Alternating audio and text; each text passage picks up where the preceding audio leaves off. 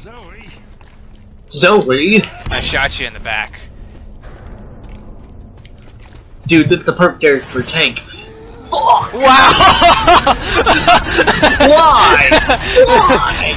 Why? Dude, I should stop calling out tanks.